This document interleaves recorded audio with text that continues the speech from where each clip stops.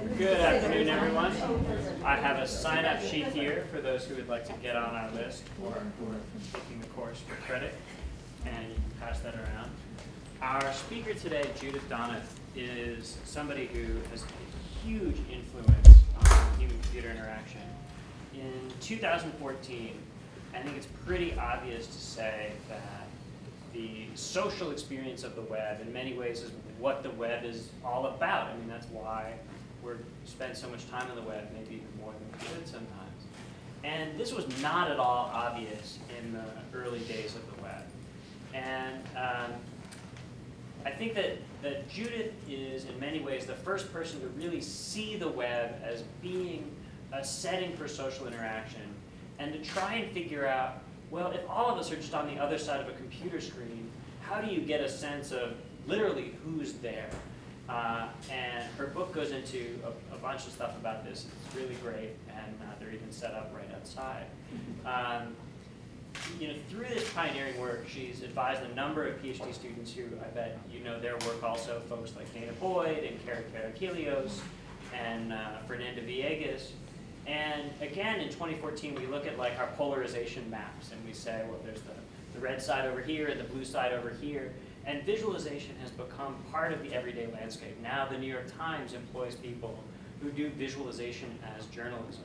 And this just was not at all obvious uh, 20 years ago when Judith started this work. And it's especially amazing because I was doing research at the time, and I can remember wondering, well, this whole, vid I have a lot of friends in the visualization community, and I can remember wondering, like, is this going to go anywhere?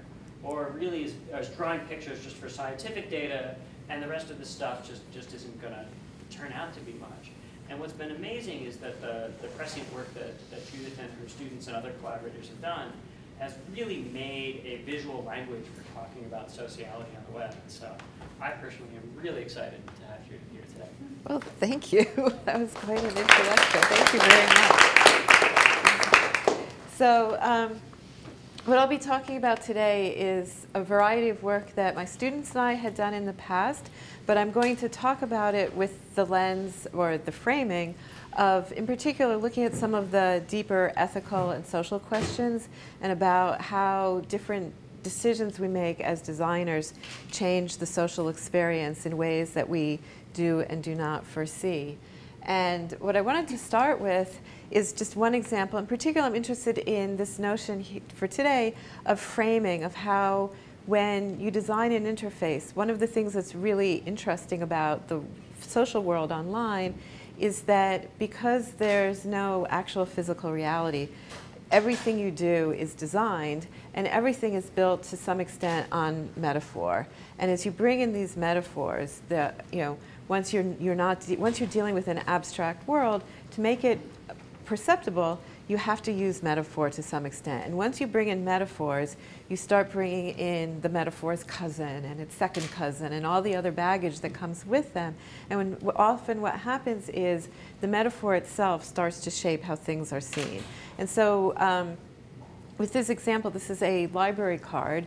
And you know, some of you may nev have never seen these, but in fact, you used to sign books out and, and everything. But today, this information is some of the most protected information.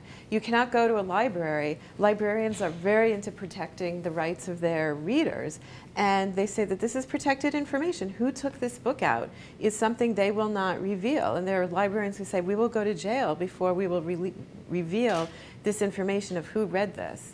And so that's a world in which something is published, but the audience is invisible. And not only is it invisible, but it's this inalienable right, this important civil right that that audience remain visible. But if you think about publication in the context of a conversation, it's one of the drawbacks of the online world is that you speak but you don't see your audience. So right now I have a fairly good idea of who's listening to me. Usually when you talk to, face to face, you know who else is there. You gauge your words. You determine how intimately you want to speak. You know, do you want to reveal secrets? How much do you want to reveal of yourself? And when you can't see the audience, as you often can't online, you're likely to make all kinds of errors about privacy, etc. And so online, when the metaphor we're using is conversation, the invisibility of that audience is a problem. And we have, for instance, you know, going back well before the web, the days of Usenet, pejorative words like lurkers to mean the people that you don't see. So simply the framing of, is this a publication, a book, and are we in something like a library, or is this thing that I wrote a piece of a conversation, completely changes the ethical questions about whether you want to be able to see your audience or not. And so as background, um, one of the things I, the framing of my book is I have three sort of basic things that I think are good fundamental guidelines for designing pieces. We'll just go through those quickly. One is be legible. Part of the problem of an entirely abstract world or a world that tends to be very text-based is it's not legible. On the social side, when it's illegible, you can't see the people, you don't know what's going on. So one of the things you want to do as a designer is bring legibility to it. This is uh, some of the most interesting stuff you can read on the web. I have kids, and one of the arguments uh, um, a lot of parents who are interested in technology have with schools is to say Wikipedia is great because like my kid's school says you're not allowed to use Wikipedia. You may not look at it, it's not a good source and say this is great and the thing that's most interesting about Wikipedia is not only is the information good but you have the whole history of how this, these stories and these articles are written and what are the arguments that went into it. So you can teach these kids not just to read the article as a finished product, but you should be looking at this material and seeing the background. But when you look at this, you think this is not very interesting. This is like the, you know, this is, you know, this is the record of who said something and who contributed where. So um, a student of mine, Fernanda Viégas and um, Martin Wattenberg, when Martin was back at IBM, did this piece called History Flow. And what they did was they mapped how edits were made in Wikipedia articles. And so this is, I, I think this is either coffee or chocolate, which turned out to be um, surprisingly controversial. But what's interesting here too is so here they sort of map in what you can see here is you could see an edit war. And you know, someone wrote something, someone reverted it, someone wrote something, and someone reverted it. What's also very interesting is they did two versions of it. There's this version, and then this version is the same material, but it's much smoother. And the difference in what they're showing here is on this version, they um, visualized, you know, these bars show every time an edit is made. So over here, there's not too much editing, but here, every time someone did something, you see the effect of it. So what you're seeing here, what they've made legible, is the act of writing. What this version shows is the act of reading, because here they're showing where the edits are, but they colored in by time slice. And so what happens is those reversions are very, very, very fast. Um, and so instead of just looking at it and saying, wow, this is just being argued over and it's going back and forth, it's always changing, what you're seeing here is the fact that for almost every reader except the one who happens to come up maybe at a bad point before something was reverted, they're never going to see any of it. So there's a couple of little changes, but it's mainly smooth. So the notion of legibility is both that a graphic like this can make the information more legible, but there may be multiple versions of it. That it's that once you make things clearer, there's lots of different stories to tell. You may the most important thing might be to tell both of them. Um, so while you may say that my work is fundamental to you, your work is very fundamental to me. So one of the really inspiring ideas behind my writing and my work with my students was this notion um, from Jim's work with Scott, Scott Stornetta was, you know, to say go beyond being there. That if you're going to make an interfaces for people to communicate with each other, if you're going to make, or if you're going to make anything, don't just replicate a second or third rate version of what you can do face to face. Do something better. And so, um, for instance, video conferencing is you know, mostly a horrible experience. It's like you're almost there, but you're not quite there. Um, there's a one of the chapters in my book goes into a whole sort of, it's my attempt at a proof of why it's never going, you can make it sharper and better, and it's never going to be right because, among other things, you, you just can never have the common ground. So you don't have, you could do a little bit of, you know, getting the eye contact right, but the key things about what makes a shared space shared, you will not have. But, so you say, okay, well, I want to have a conference with someone. How do I do it? And when you, uh, the important thing is to also recognize that often the ways that you can go beyond being there aren't to have more and get further beyond and have it be fancier and you know it's going to be a four-dimensional conference instead of a three-dimensional conference. Is sometimes you want to make it much simpler. Yes? So I, I, mean i think you're right that nearly all of the interesting opportunities for sticking a computer in the communication channel are to mm. -hmm. do different things than right. the real world. Um, i do think that there's a lot of grandparents who would defend the mm. merits of video conferencing yes I mean, and among others yeah and actually I, I do. When I write, write about it, I do say that it, when you're what you're if you're what you're trying to do is see a particular individual closer. So if your spouse is in the army or your grandparent, if what you really want is just like that face, then it's it's good. But in general, a lot of the other things we're trying to do, it's not as good. And and even when you, when we talk about it with as being grandparents. Um, there, a lot of times you think of it with a little kid where they're not really going to communicate, but you, there may be other ways that even once you had older kids, you have, you know, two kids at home and you want to chat with them while they're doing their homework, it might not be the right interface. So, but yes, that, you know, that when you just miss that person, you want to be as close to them. It does. Or I did travel planning with one of my best friends, and I video. I never video conference mm -hmm. socially, but I did on. I do often for work but I did on uh, on Saturday because I wanted to get a sense of like, was he on board with the plan, mm -hmm. which mm-hmm. is much easier even with a crummy video link than it is just over a telephone. Right, and one of the issues too is that a lot of the problems. So the common ground problem with video is that if I'm talking to Scott here, you see me speaking to him. But if we were in a conference, you would just see me looking somewhere else. You would just know that I'm not looking at you. And to recreate that sense of common ground where you see who's looking at whom, because a lot of times the information that's interesting isn't just is that person looking at you, but where is their attention drawn and why is it drawn off? And so there's pieces you can do with two people, but it starts to rapidly fall off with three or four or five. So that's, you know, that's issue. But anyway, we'll, we can argue about that a bit.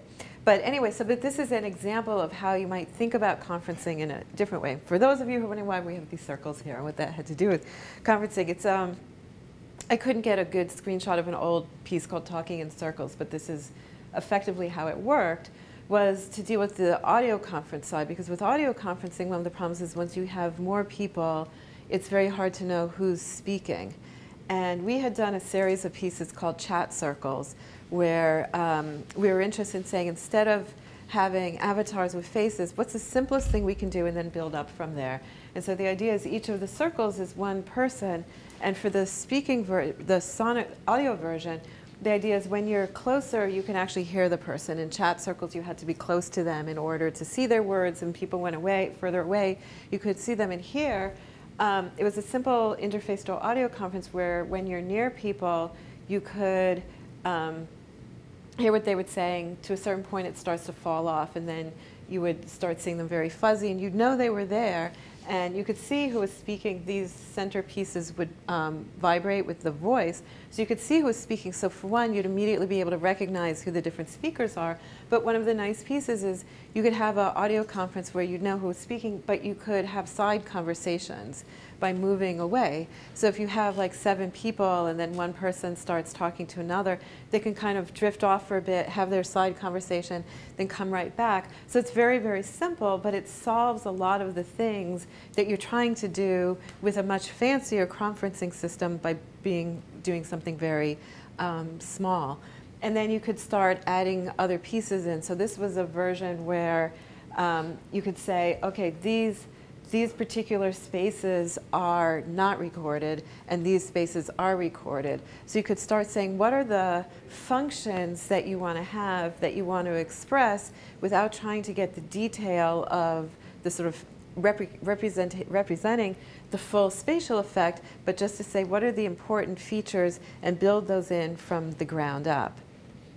And then the third piece, and the most complicated one, the one we'll sort of focus on today, is that you want it to be beneficial. And that seems like a very obvious thing, but it's actually really hard with developing interfaces to always know what their effect is, and then also what is beneficial to a particular audience.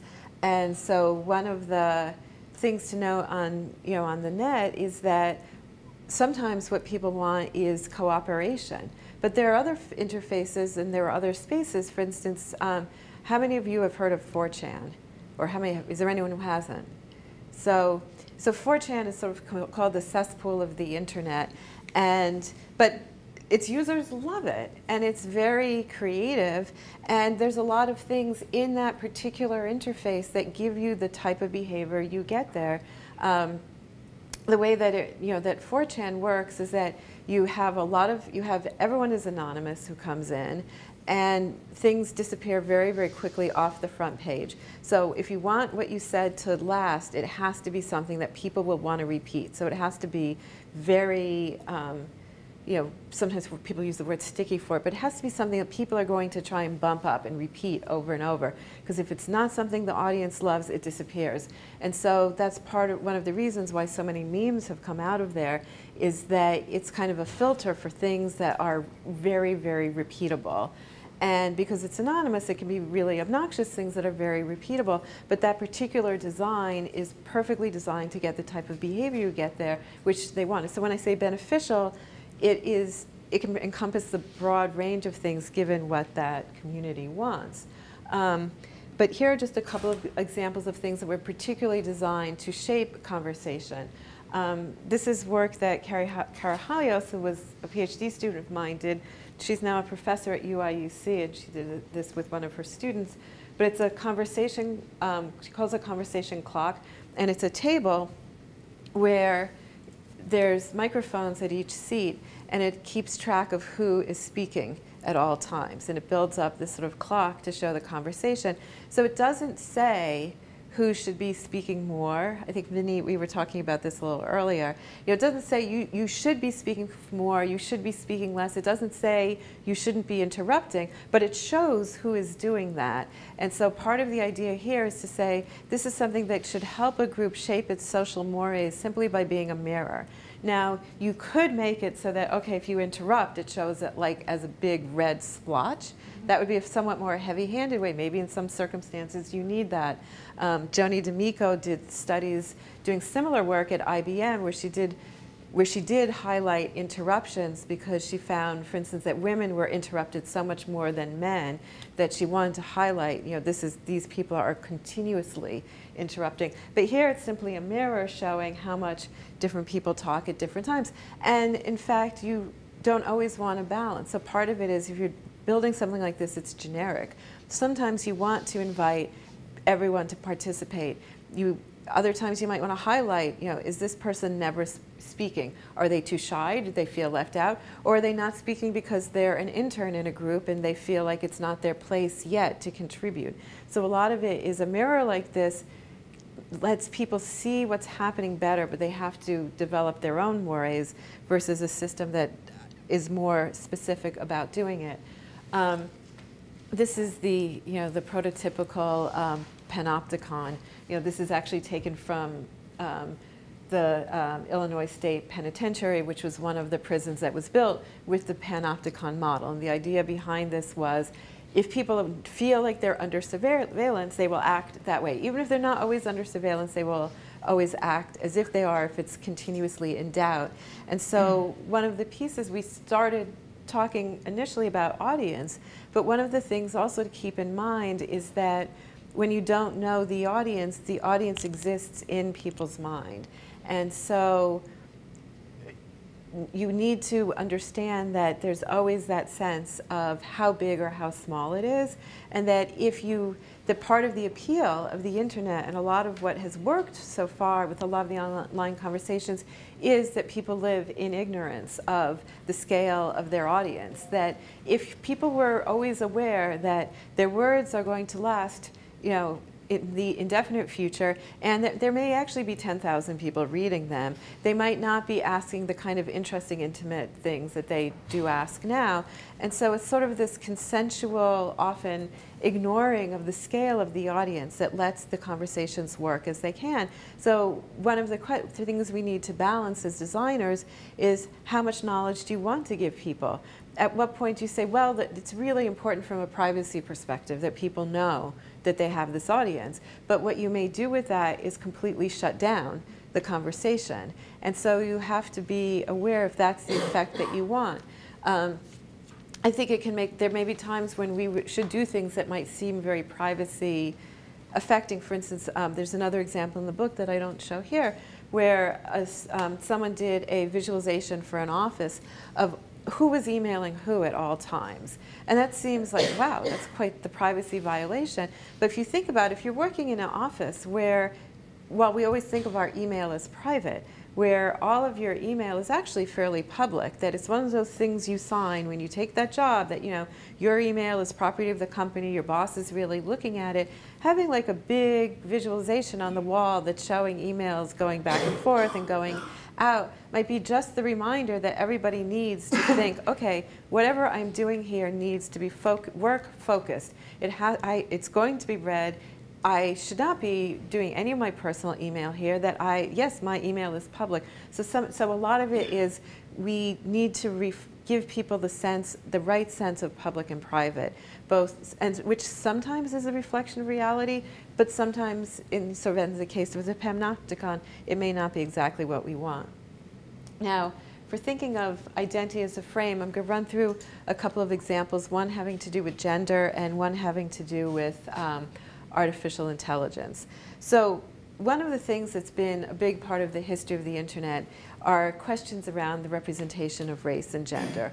And sort of the obvious thing is that as soon as you walk into a room, as soon as you meet someone, the first things you get to know about them is you see their race, you see their gender, you see their age.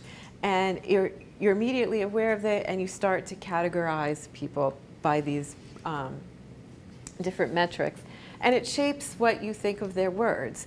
And so for, especially in the, um, the early days of the uh, sort of proto or pre-internet, in the days of Usenet, identity wasn't as big an issue because people came in to conversations with an institutional identity. You know, they came in from their university or a research center. They, it was with their name that was from a very official account.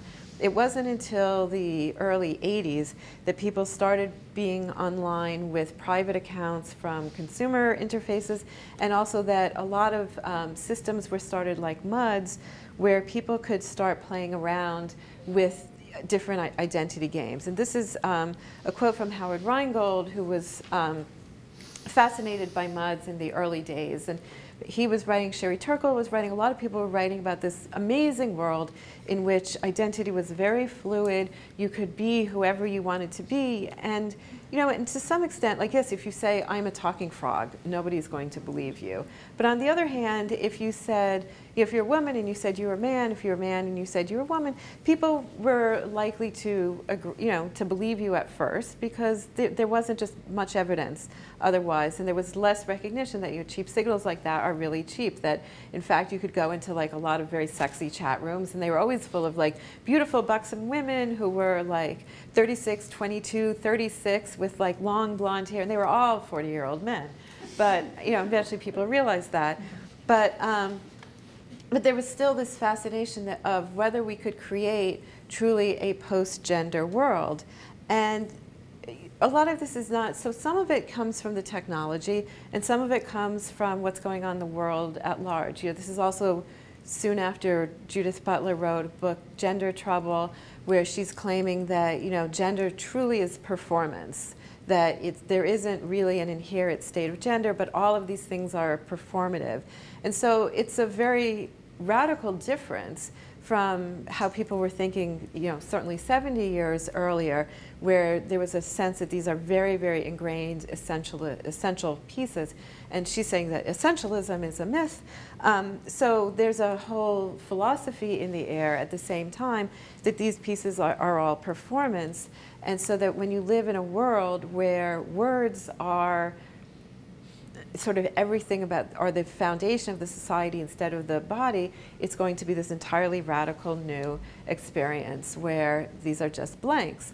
And so, but what's, what's very, been, was very interesting is this happened to some extent. You could see you know, there's certainly times where there are conversations where it's hard to, you know, know who people are and people may forget about it. There's some level of passing, but there's also some interesting work, for instance, that Susan Herring did. Um, she's a linguist, and she looked at the gender differences in computer-mediated communication, and she found that there were very, very recognizable differences which seems obviously now in the way men and women use language, and that men posted longer messages.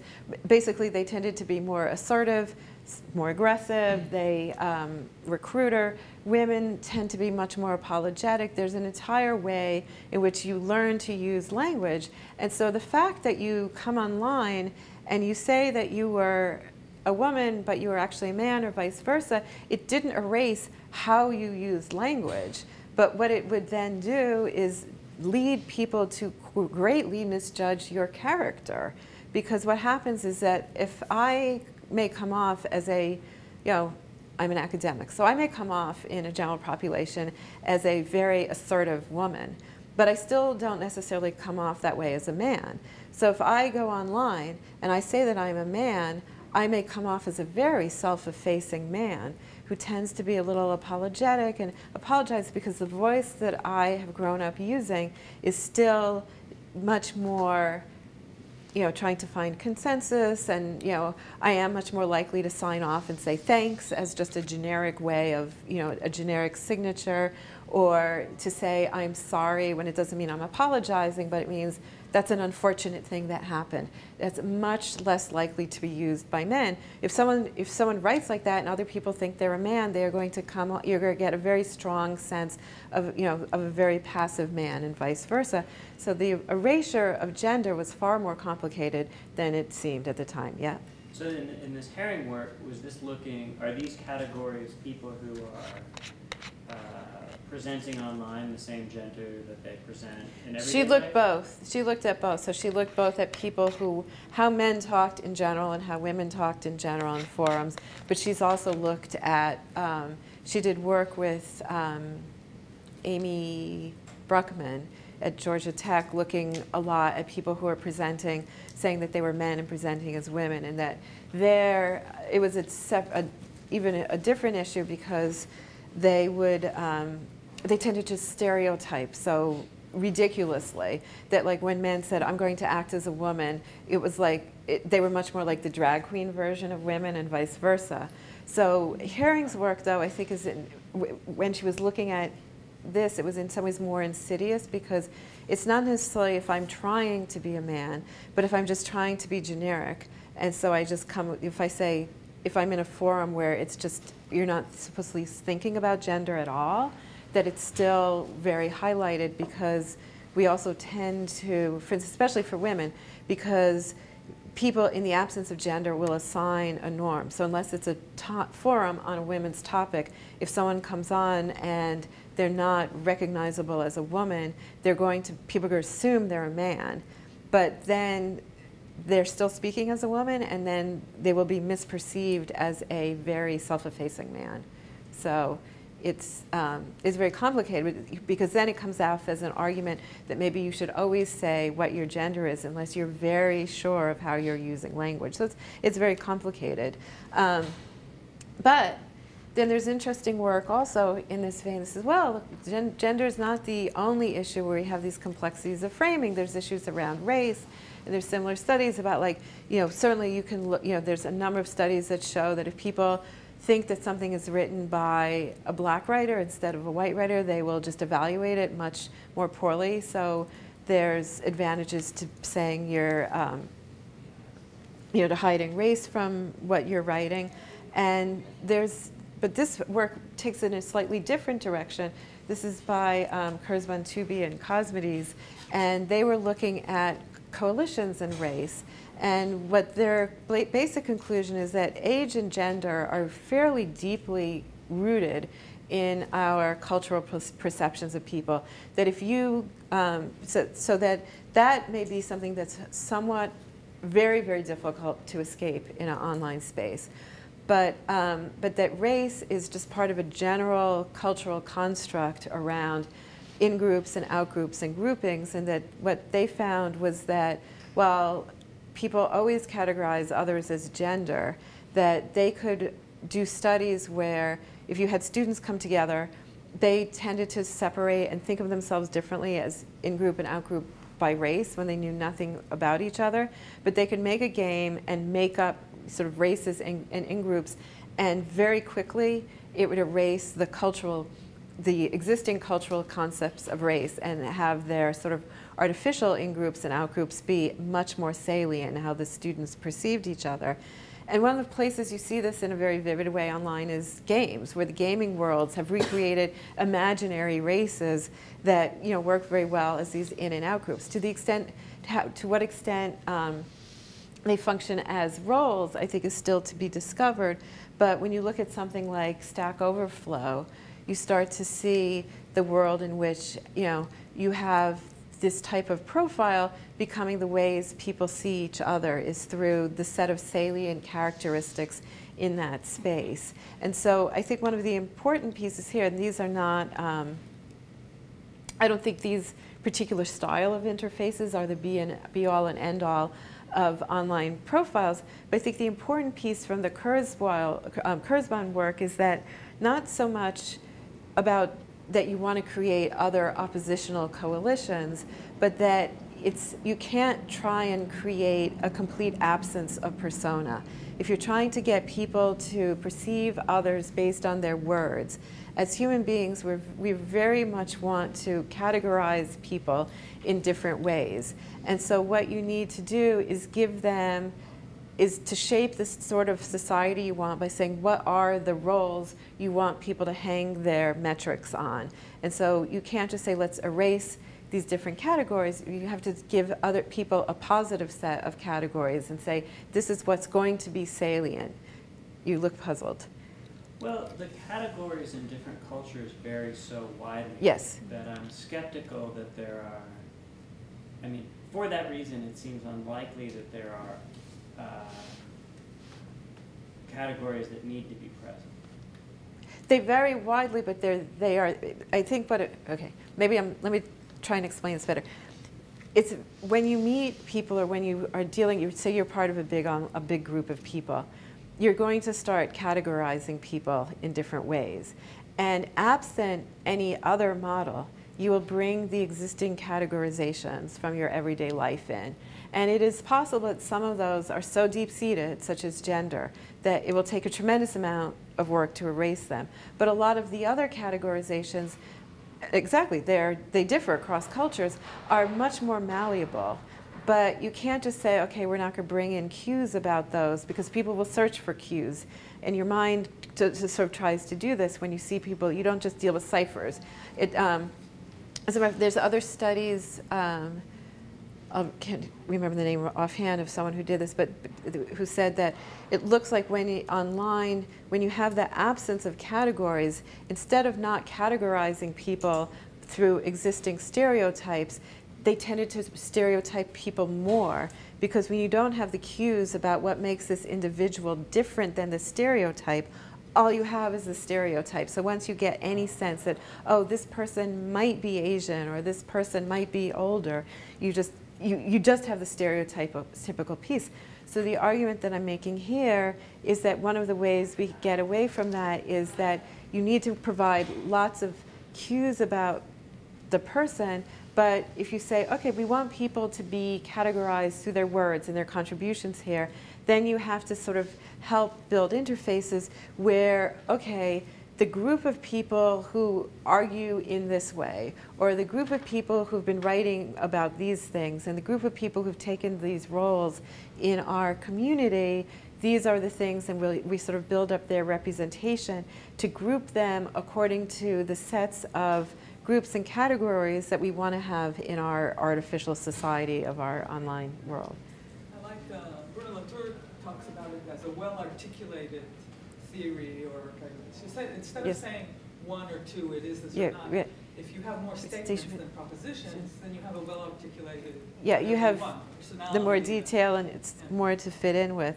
So I'm going to take a sort of quick tour through a couple of interfaces that we did that looked at, um, they're really just sketches, because you know the ultimate way of dealing with how do you make how do you make a profile of someone, a portrait of someone out of data is still a huge open question. So these are just really sketches to look at to think about some different directions. Um, this is some work by Alex Dragulescu, who maybe some of you know because he was he before he was a student of mine, he was a student here at um, UCSD. Um, he did spam plants. He did beautiful visualizations, playing around with the notion of beauty that came out of the ugliness of spam and viruses. But um, this, these are visualizations that are based on Twitter. And what he, we did, he did here was one side of the profile was um, the words that people used with uncharacteristic frequency across everything they talked about. So what are the words that typified them? And the other side were what were the words that typified what they were talking about today? And so what you would have is when it, you'd see it as a running thing, so just a screenshot, is that this, this would change slowly, but this side would change sort of as they were interacting and sort of someone who wasn't present that day would sort of the words would fade away over time. So if you didn't, we weren't able to see anything there, it meant they just weren't really active that day. So you'd have this record both of activity, but just also of the words that people were saying.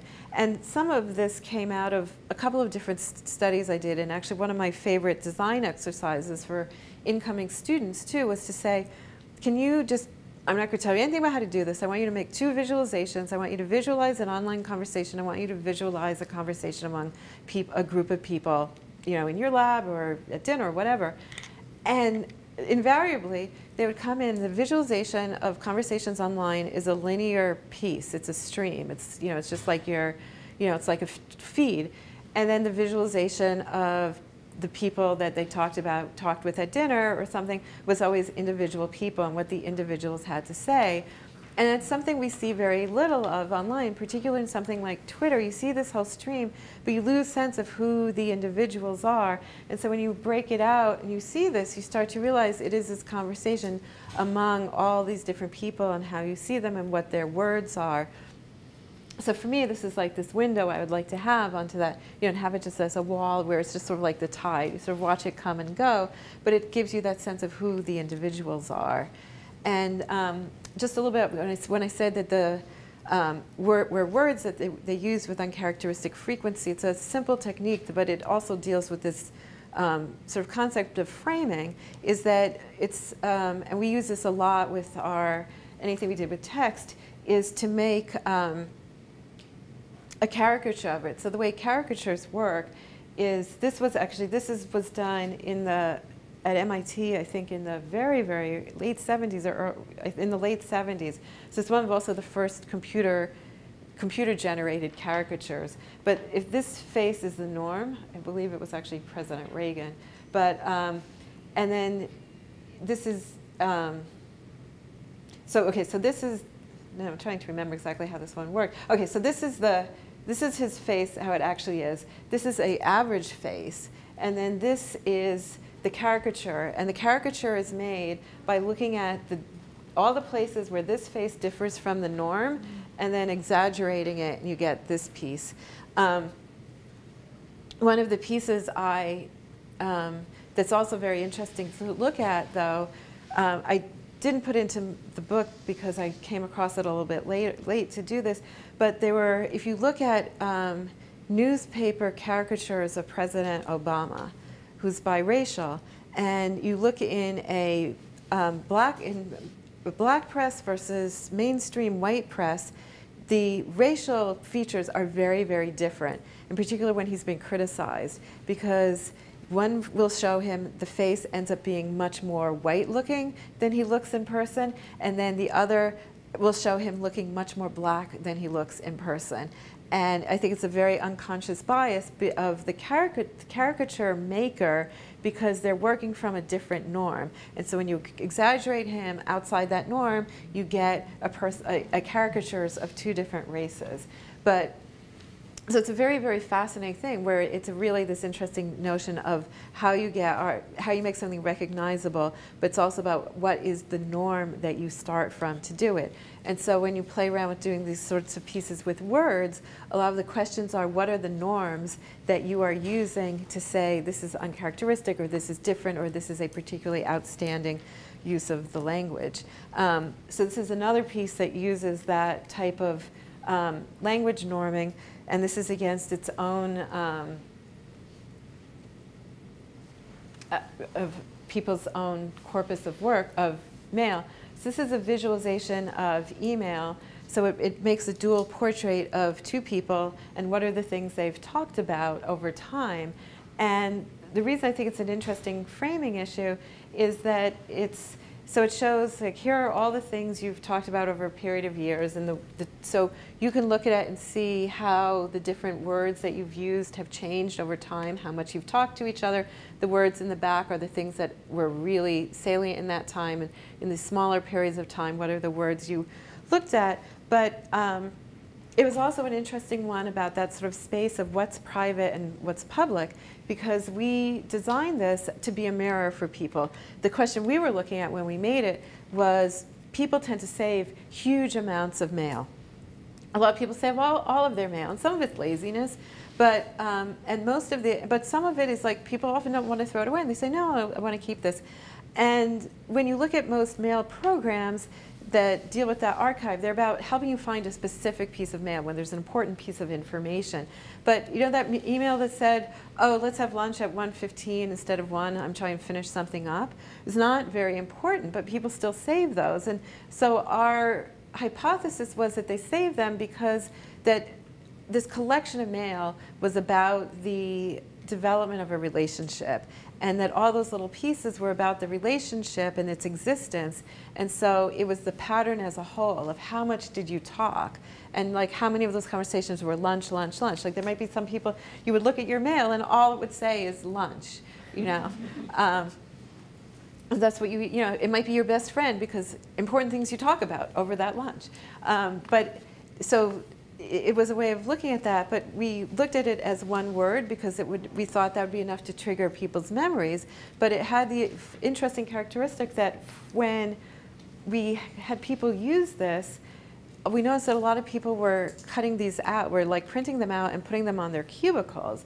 And I thought, well, this is kind of interesting. Why are you doing this? And they said, well, it's like it's a photograph. It's of a relationship that you can't normally photograph because people like to have pictures of their friends on, this, on their walls, but you can't photograph a virtual friendship. But by using the words, and then we saw that by having just the single words, if we'd had longer phrases, it would have been too revealing what you were talking about. Like, I can put this up happily. This is actually my mail with my what started as my husband and by the end is my ex-husband.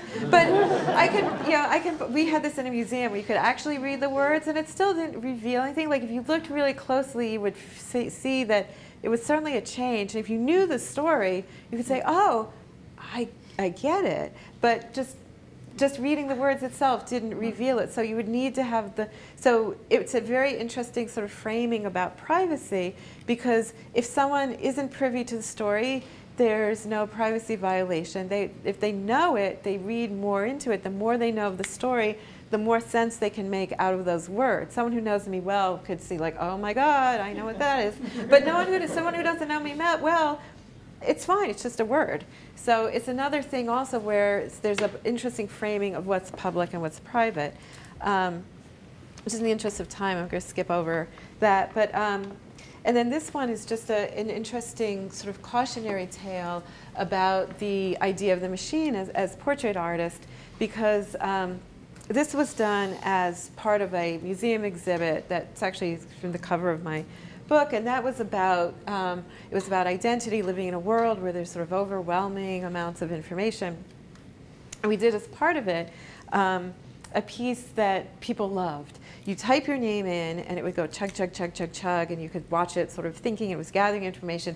It was doing a, a big search on your name and trying to figure out everything about you. And then it would do a machine language analysis of who you were and what your roles in society were. And it would sort of come up and say, oh, these are all the significant things in your life about who you are. Um, but what, what it was also meant to be was, you know, it was an art piece. People loved it. They were like, this is great. It's telling me all these things. But it was meant to be this cautionary tale. So what if your name is John Smith? Will it be a portrait of you and every other John Smith who's ever had anything written about them or by them online? And then for a lot of other things, it just mischaracterized words. It, did, does, it didn't have, it was the most sophisticated sort of machine learning algorithms of the time, but they're still not very good at understanding ambiguity, irony, synonyms um, in, in, many cases. Um, and so it would make these other characterizations. And so while people liked the sense of it, we could see them trying to twist themselves into understanding why why is it characterizing me this way? So it was almost ended up being a little bit like the zodiac, where you know you read something and then suddenly it's very meaningful to you, even though maybe it's sort of nonsense, but it would be very meaningful to you, especially once at the bottom you would recognize you know particular pieces that really were truly about you. Um, so now we're going to sort of talk about a you know for the last part of the talk about a, a different set of framing issues um, around questions about our relationship to the not quite human other. And I want to start with um, the Tamagotchi because that it's also an interesting framing story that I find kind of fascinating is how um, is if you look at a tam is there anyone who doesn't know what a Tamagotchi is to start with? So okay, so Tamagotchis were a very, very popular toy about 15 years ago where you would have this pet. So they were framed as a pet. And you, you would get the Tamagotchi, and it would be hungry. So you had to press one of its buttons to feed it. And then it would, like, then it would soil its little area here. And then you had to press little buttons to keep it clean. And it would do this at sort of random times. And um, it took a lot of care, and it took a lot. And it, with 24 hours, you might have to care for. You have to might have to wake up in the middle of the night to take care of it. And if you took care of it, it would grow up and it would thrive. It would be really rewarding. But if you didn't take care of it, if you missed some of those feedings or you left it in its own mess, it would like it wouldn't thrive. And it, was inter interesting. Different market is that in Japan, it actually died there you were, your Tamagotchi was dead, there was nothing you could do about it. In America, um, they sort of like, they got really sick, and I think if they died, you could revive them, but it, they weren't, that didn't go over well here, the like really dead Tamagotchi. But, but the interesting framing question, and particularly from the ethical standpoint, is, so you're at dinner, you're at your grandmother's house for dinner, and you know, you have this Tamagotchi, and you have to go and feed it. Now, if you look at it as a toy, that's really rude. You know, you have left this dinner, you've left this important thing to go, you're sitting here paying attention to your toy. But if you frame it as it's a proto pet, you know, if you, you know, this kid is learning what it means to care about something, and one day they'll actually have responsibility for an actual hamster or a cat, and then one day an actual baby, um, you know, then it's sort of wrong to say, okay, you shouldn't be taking care of it because we're, this whole thing has been built to elicit all of your nurturing instinct. And what are we trying to do? Tell people to like tamp down that nurturing instinct and not deal with it. So, so there's, it's a puzzle. You know, I could as a parent, I can see why it's rude, but I can also see why you don't want to take something, have it bring out nurturance, and then tell you, no, don't nurture things. It seems like it's a, bad way of teaching. So as a framing, they're, they're very complicated issues. Um, and one of the things that sort of ties these pieces together is that sort of the grandfather of this whole problem comes from Alan Turing's work his 1950 paper on um, computing machinery and intelligence. And one of the interesting, so also, is there anyone who's not familiar with this paper? So, okay, so the background here is um, that Alan Turing was sort of the father of computing. But he wrote a paper called Computing Machinery and Intelligence, and he was interested in whether can computers be intelligent. And it's it's a paper that's fascinated me for decades, and it's a very puzzling one because he wrote, he started it by talking about what he called um, the imitation game. And I guess it was a British parlor game. And the idea was you have two people behind a wall, and they're corresponding just by text. You can't hear the voice. And they're claimed to claim to be, or there's one, one person behind a wall, but like a couple of people disappeared, but one person is acting. And that person is going to say that they're a woman. But of the people who've left, you know, it's a woman and a man, you have to figure out if that person is lying, the one who's actually doing the correspondence. Are they really a man or are they, you know, are they really a woman or are they actually a man? You can ask them anything you want. Because he says, okay, that's the imitation game, you all understand this. Now we can go and do this with computers and humans. You're corresponding with something, it's going to correspond with you on paper. You know, this is still 1950, but you know, it could be a piece of paper you can ask it anything, and then by its answers, you have to decide is it a human or a computer. One of the, and his conclusion was that he believed that 50 years hence, which is now sometime in the past, that computers would be able to play this game so well that they would win.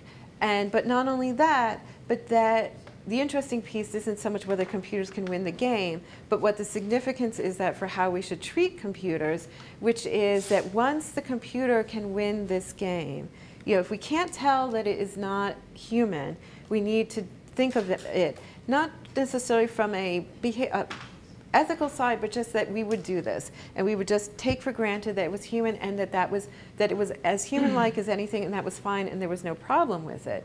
Um, one objection I haven't really seen, which has always puzzled me, is that clearly in the gender version of the game, if a man has convinced you he is a woman, it still does not make him a woman.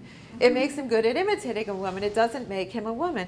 But people seem to make that mistake a lot with um, AI that the difference between the acting of intelligence and the being of intelligence makes a vast difference. And one of them, um, a very interesting piece that was done very, very early on in reaction to Turing was done by a man named Joseph Weizenbaum, who did a, um, a piece called Eliza.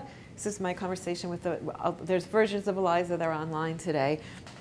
But he, um, he did something where it was, he said, it's just a semantic parser. You can write anything to this parser and it will respond to you. Now, and it worked very well, but the only reason it worked was the way that it was framed. Because he did a couple of versions and then they weren't very successful. And then he went and he did a version that he called Doctor, and he framed it as a Rogerian psychologist.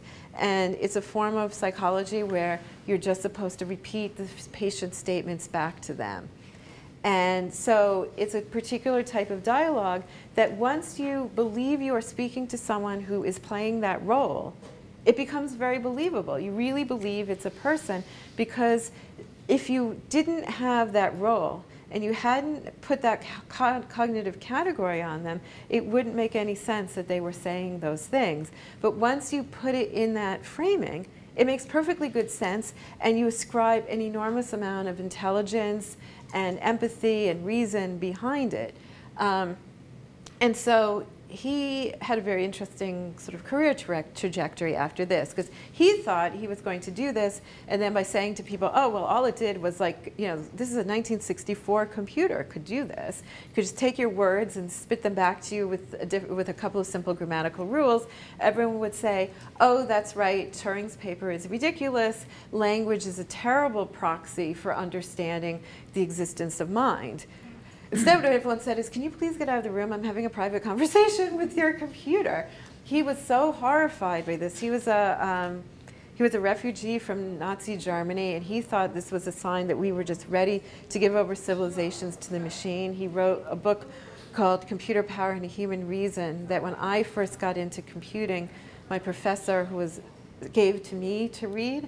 And um, what it basically said was we really, really, really need to watch out because the people who are going into computer science are not the people we want to have shaping our world in any way whatsoever, which is, you know, it's a very interesting critique. And so I don't think he really, I think he spent the rest of his career as a critic of technology um, and not as, you know, the sort of computer developer that he had initially thought to be.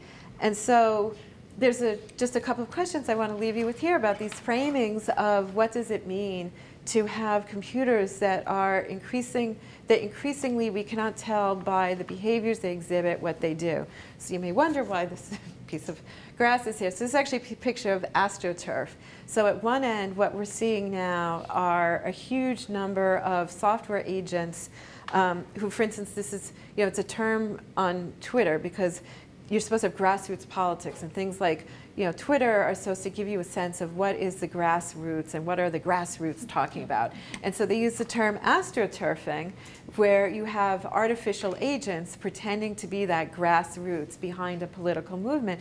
So you can make all kinds of agents that, on the one hand, are able to imitate being a human in a social situation increasingly well, but for completely devious means of looking like they are a set of agents. So what are the ways that we are what we have to sort of develop in a race to stay beyond this type this use of things that make that let us um, imitate humans really easily. Twitter is rife with this in part because the 140 character limit that makes normally verbose people so charmingly succinct also makes it very easy because you don't have a lot of cues, and so it's very easy to imitate a human. Then on the other side, this is sort of the heartwarming side of this is Paro, who is a $6,000 interactive seal that is meant, it's not meant to imitate a human, but it's designed to imitate a um, sentient pet. So it's not just like a stuffed animal, but it will sort of, it will make noises and it will react and it's very, very responsive. And the company that makes it is a Japanese company and in Japan, this huge aging population. They have very, very few caregivers. And so it's being marketed and, and you know, there's a huge amount of attention with it about saying that this is something that will help us care for elderly people. And so this is a picture that was taken in a New Jersey nursing home. The woman in the background is the daughter of the woman in the foreground. And according to the article, the woman in the foreground has Alzheimer's and is often very unresponsive. But you put this responsive seal in her lap, and not only does she sort of warm to it, but a lot of her language tends to come back when she's had it. So here, it doesn't look like, okay, so she may be deceived into thinking it's responding to her, but is that ethically wrong? Because it says it calms her and she's actually able to communicate with other people. So here you're faking sentience because she says, look, you know, that's something that responds to her, that here is a faking of sentience for a very good purpose. Um, but if you start saying, okay, well, we're going to do this because, uh, you know, this is great. I used to have to give my iPad to my kid to shut him up, but now I can give him the seal to keep the baby quiet. You know, there is the faking sentience, you know, and what, at what level, what use of this faking of sentience, even say in a pet. So when is it because you're trying to shut the child up? When is it this fake nur nurturance? Is there something creepy about being taught to nurture something that unlike an actual pet isn't actually benefiting from it and when is it something that's truly beneficial? All of these pieces are the types of big questions that framing is important to understand in how to think about the what does it mean to make a beneficial interface. Thank you.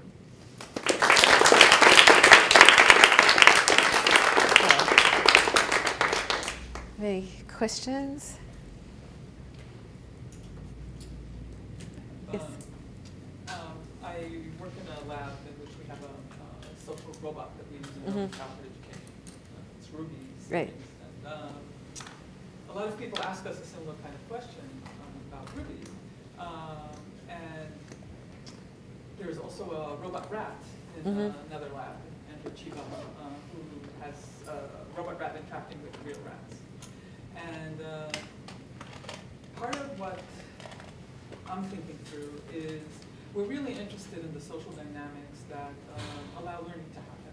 Mm -hmm. And at very young, early childhood, also increasingly, you know, throughout the life, right. uh, learning is, is socially mediated. Right. So if we, we have, I have no doubt that the kids know it's not a real, it's not a human. Uh, and the rats know it's not, it's not right. a real rat. Yet the, the timing and coordination allows them to interact in a way that they can learn something. Right. Um, and what you see also in the in the very early childhood that they are they, they're self uh, um, pacing and learning, and we don't uh, force kids to interact. So they're actually learning to learn from technology in a way that is almost, you know, it's more mediated by how they do social interactions with humans. Mm -hmm. And as soon as there's a human in the room, they're always more focused on the human. But there's something about maybe finding the ways to allow uh, their natural sense to, to really find out what's, what's good about the technology. And part of it is going to be that the people are going to discover. So the Alzheimer's patient mm -hmm. is probably going to discover how to use the seal, the benefit, more than, you know, us kind of trying to worry as designers about it. And then the trick becomes how to, how to choose ecologically valid settings in which to, to do this research. Right. Um, I don't know if you have any. Yeah, I, I think part of it also is to, is to figure out what is the framing in our culture as a whole for it. Because, for instance, you can, um, people have gotten very, very, very upset about the death of fictional characters. So we get very emotionally invested in that. At some level, if there had been, if there wasn't any fiction, fiction didn't exist, and then I told you about fiction, and I said, well, I'm going to make up this story, and it's not real, and none of these people are very real, and people are going to read it and they're going to burst into tears, and they're going to like write to the author and say, why can't you bring this character back? People say that's immoral you know, if you just heard about it, you would think it was really bad to do that. You're manipulating people's emotions. How can you do that? So some of it is how you discuss it, because if you've only heard about fiction like that, you might think it was wrong. So I don't have an answer, but I think some of it might be, I think there's the issues in that framing of like, lots of things we do do manipulate emotion. Like well, that's, to some extent, a lot of what art is supposed to do is manipulate how you feel or affect you in a particular way.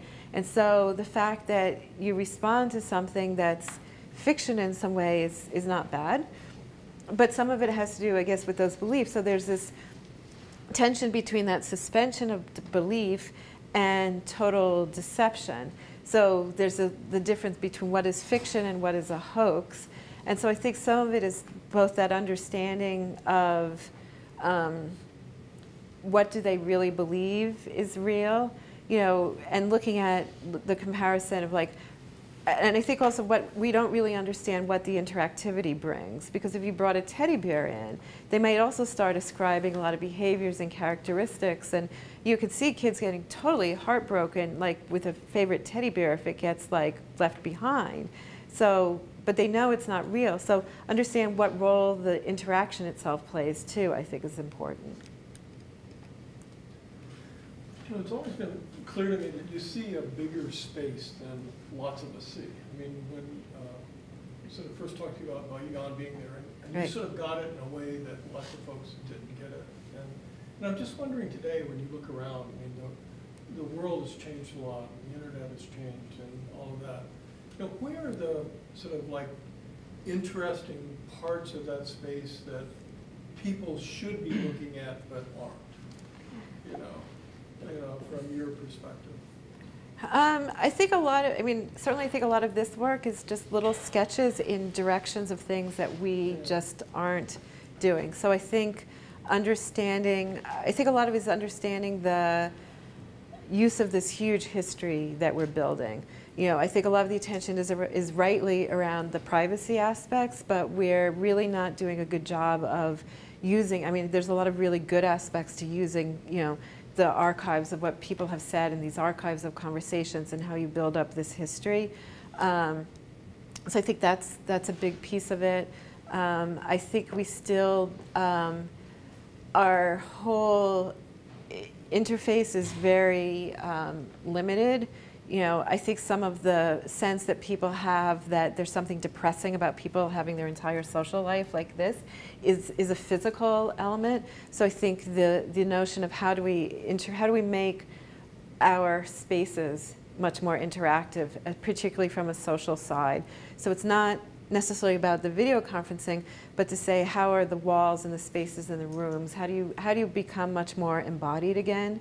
Um, so interfaces that deal with gesture and, and, a physical self, even if it's transformed in some way when you're looking at it, but there's something, there is something very depressing about the sort of disembodiment of interacting in things that bring you smaller and smaller. So I think those are two of the directions I think are interesting.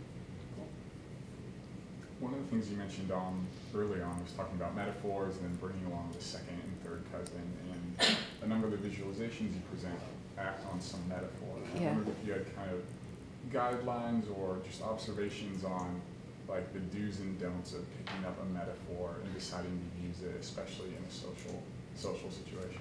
Yeah. Well, one example, and I go through this a fair amount in my book, is a piece that was one of the most requested of my student works. Um, that was a piece called People Garden, and it was a visualization of an online discussion. And the woman who did it visualized the discussion as a garden. And so the longer, and so the, each person was a flower, and the longer their stems were, the longer they'd been there. Each of their contributions were a flower, were, were a petal, so people contributed a lot. Were, and on the one hand, it's a great visualization because you can immediately see, we were, you know, this is again back in, in the times of Usenet where, you know, there's like a hundred different conversations. You want to see which are thriving, which aren't.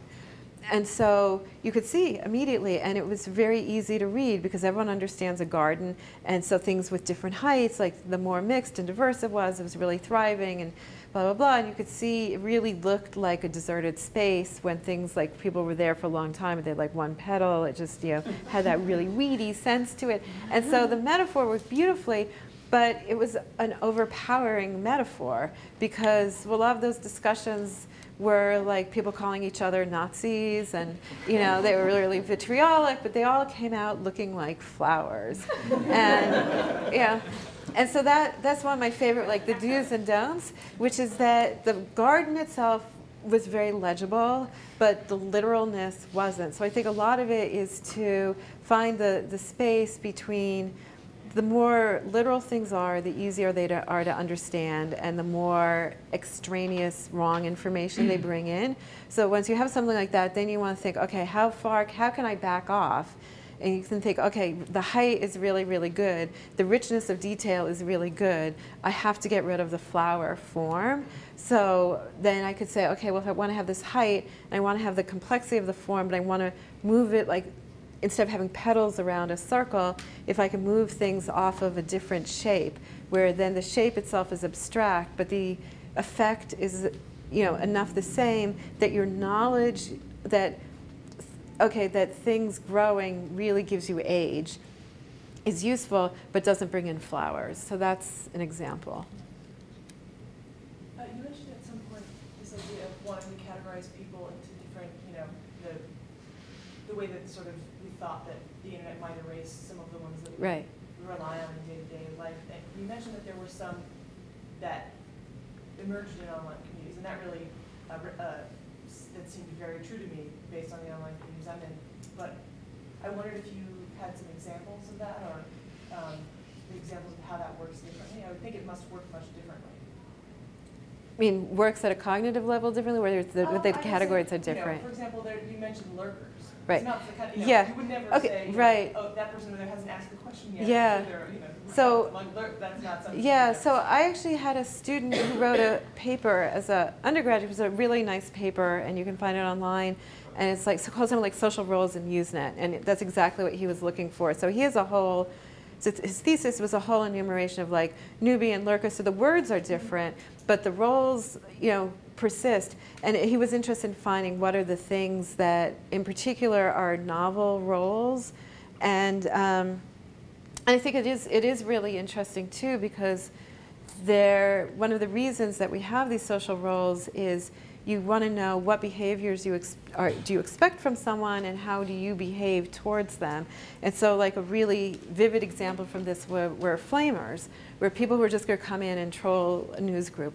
And so one, people had just hadn't seen that kind of behavior before. You just don't normally sit in a conversation and have like a stranger come up and just pretend to be part of your group and but they're just there to eventually harass you and mm-hmm. turn like and turn out in the end that they're just like pulling your leg. It just didn't ha- doesn't happen that much over lunch but it happens a lot mm-hmm. online. And so it was a type that people had to learn to recognize.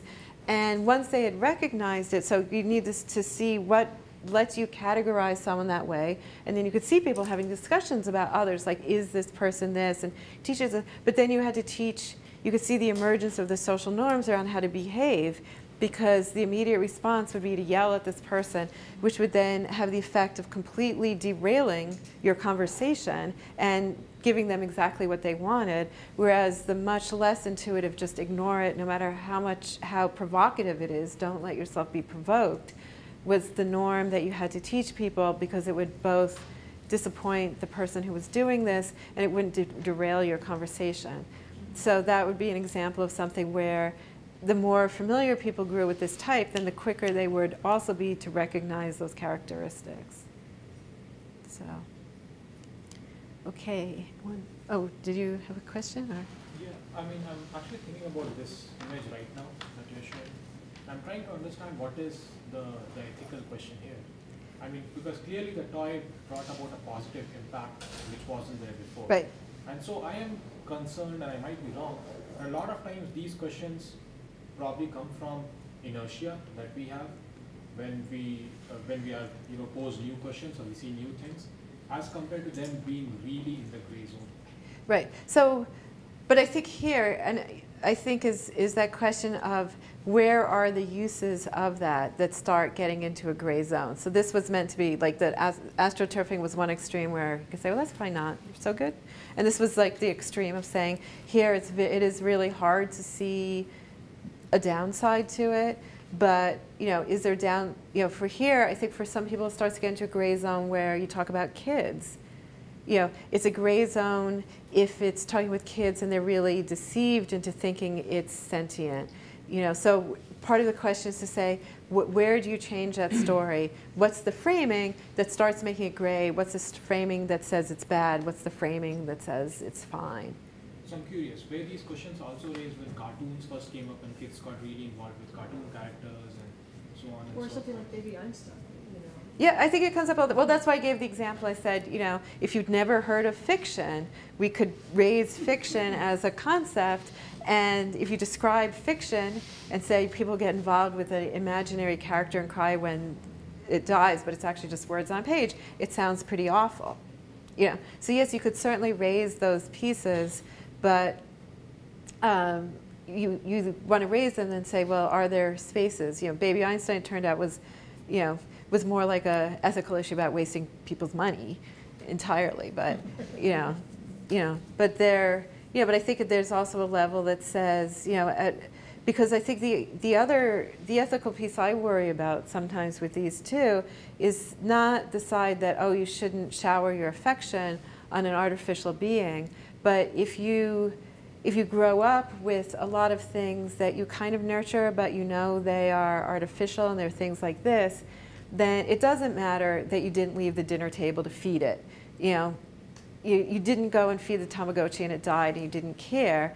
Does that, do you then have more of a trouble making that next step to the hamster or the gold, you know, to the goldfish? At what point is it good learning or sentience and at what point do you start desensitizing people to the fact that nurturance is there because something else is helpless? Because these things aren't actually helpless. They're machines.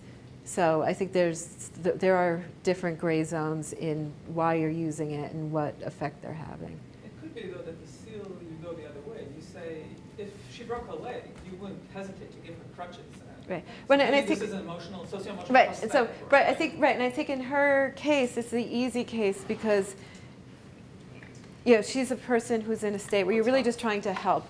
Whatever's going to help her, you're not trying to teach her. You're not trying to have her learn. It's you know it's just you know a calming mechanism. But that's where I say then you start going back. It's different if it's a child. It's different if it's taught as you know training to nurture. It's different if, if, you, if you're trying to get them to nurture then you're trying to say, but it's just a machine, why do we care? You know, but when do you say it's just a hamster? You know, so, I mean, people do, they're gray zones, not black and white zones. But, I mean, it seems like you are teaching to nurture as part of what the, the robot's role is. Right. I, I don't think it's just common. For her? For the, that's right. I'm, I'm not, yeah, I mean, this, in this particular case, yeah. I mean, I think it's, yeah, or maybe that being in a nurturing role is calming, but the, the point is you're not, this is not someone you're teaching for a future of, of becoming a more nurturing person. Like a one-year-old isn't that nurturing. Like you give them something and then they, they'll fling it. You, you're trying to teach a one-year-old to be nur nurturing. A terminal Alzheimer's patient, you're trying to help, but you're not saying she has a future role as a nurturer. I think maybe some of the, some of the dilemmas about placebo, you know, medicine could Yeah. really apply here. Yeah. So like, we have strong evidence that placebo surgeries are, you know, really beneficial to people, but what if your insurance company says, great, like, we're gonna just cover placebo for surgeries for Right. you know, You're we're gonna prescribe you to, uh, Eliza to talk to, you Yeah. know, for therapy, and, you know, so that kind of brings up like, oh, okay, discomfort. Right, where the ELIZA therapy is that now there's a lot more online psychiatry, and there's actually a company that's starting to, this is, it's, I think particularly salient now because I think there's groups that are trying to reintroduce AI psychology. So, you know, it, it also brings up, if you frame it as saying, you know, if I have a, if I have a diary, like a little diary book that gives me sort of leading questions and I answer them and it's very reflective, okay, that's fine. So if that's fine, then if it's a online psychologist, is that fine? But it seems like it's probably unethical if I think it's a person behind there, but it's not. But it's not the simply asking of the questions that's not. But what if I answer those questions better? There's, um, there's a lot of work with human faces in computers. Um, there was work by Lee Sproull and Sara Kiesler a while ago where they looked at how people respond in the interviews when you, you, you know when you have your first those first job interviews where HR is saying, "So, have you ever stolen any office supplies?" And um, it turned out people were much more truthful when they the interface was very clearly a machine and they were much less truthful when it was a human face. And their hypothesis is that there's a lot of social lying we do to save face, in, in things that we do to make ourselves look better to other people, and we tend to be just a lot more straightforward with a machine, so that you, it's also, you know, ethics aside, there's also the issue, you know, these were clearly not real faces. They knew it was um, they knew it was both a machine, but just something about a human makes you just want to be on your best behavior, which can also involve lying a bit. So, you know, it's another framing piece. But Well, anyway, I think we're out of time, but thank you. Thank Thank you. you.